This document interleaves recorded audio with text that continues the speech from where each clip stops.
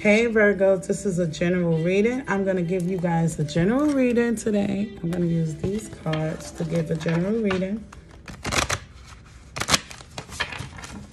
I'm just trying to do as many.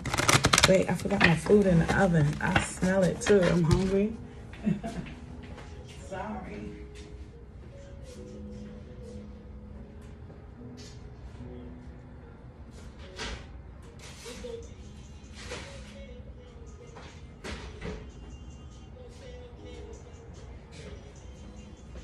I made some turkey wings last night, some baby baked turkey wings.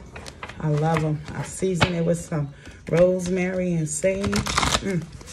And you know, if you got that little bell, if you know what bell is, it's a season that goes with turkey. Oh my God.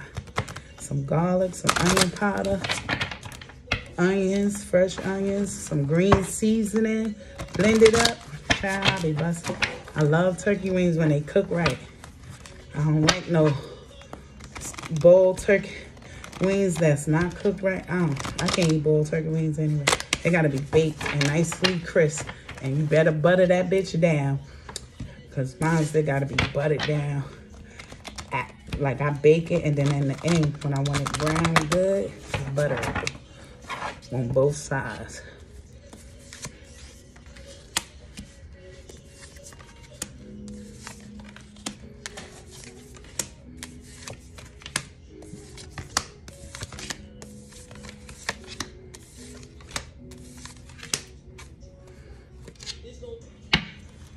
Okay, what's going on here? Someone is purchasing a new home.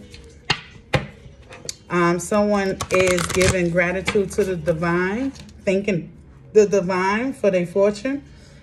Um, someone needs to stop being sensitive. Um, they sensitive to criticism.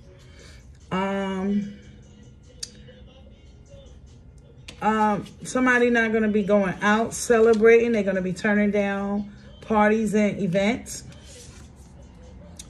Um, somebody is going to be going on a business trip.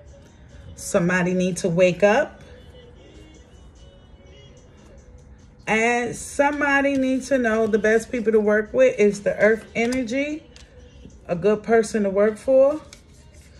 Somebody need to release spiritual um, someone needs to release and go into a spiritual transformation or someone is releasing something and turning over to spiritual transformation. Um, uh, someone um, is feeling great sadness. Um, you will heal. Someone broke your heart. Someone um, from someone broke your heart. And through you getting your heart broken, you had personal growth that and, and you learned new challenges behind your heart being broken. Um, you healing misunderstanding things. So things that you misunderstood, you healing from that.